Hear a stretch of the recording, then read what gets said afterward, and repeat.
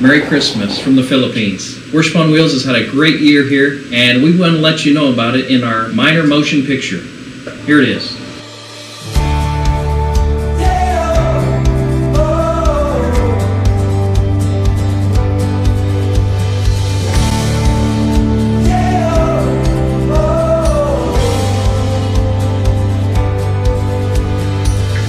This year, Worship on Wheels hosted seven weeks of Weird Animals Vacation Bible School, building relationships with about a thousand children and volunteer staff in seven different neighborhoods all over the Philippines.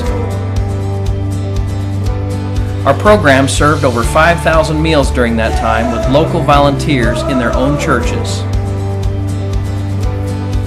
Our feeding programs through Convoy of Hope Philippines have fed over 80,000 meals in weekly programs that include Bible story presentations.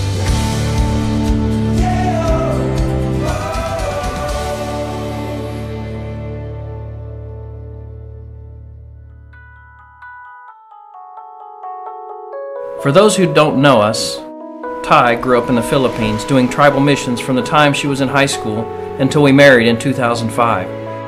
I have been in the first responder field since the age of 18, serving as an EMT, police officer, and finally retiring from the Houston Fire Department in 2012. We both felt a call to missions on our trip to the Philippines in 2008. We planned to go there after our children were grown, but an accident in 2009 that almost took our son's life put us there in God's time. You can read more about that on our website. Working with UBC, our home church in Clear Lake, we felt a strong desire to take the same incredible vacation Bible school programs to the poorest children in the world. They all deserve to know the love of their Heavenly Father.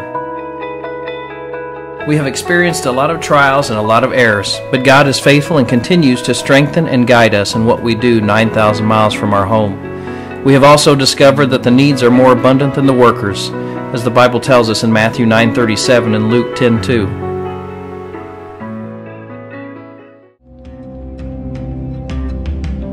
Worship on Wheels will begin a building project this year that is 90% funded. It's scheduled to be done by June of 2016, and we pray that we'd have an additional 12 to 15,000 in one-time gifts to finish it. The building will have many purposes. It will house our family and future families that will take our place as we occasionally furlough. It will house our two new vehicles, which are completely paid for. And it will warehouse the 24 tons of food that we send out every year through Convoy of Hope, along with medical and school supplies and many other items that we acquire through God's provision. It will also provide a place for us to store and build the things we need for our many vacation Bible school programs. We will loan these out to churches as they become familiar with our VBS styles. Most importantly, it will house long and short term mission teams that want to experience missions in the Philippines and also provide training for the local church volunteers that work with our programs. These volunteers will take our programs beyond our reach and multiply them every year.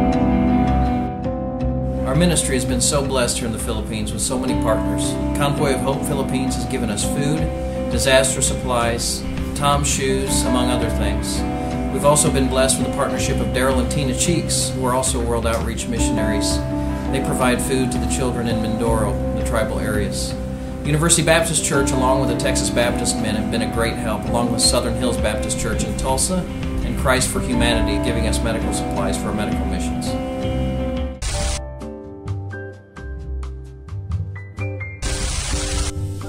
With the new facility, our reach will expand and our capabilities will multiply.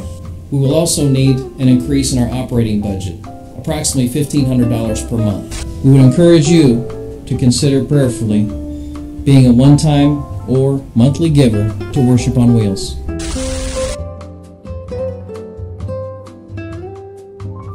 As you can tell by the video, we've been very busy, and I think Worship on Wheels deserves to be on your nice list.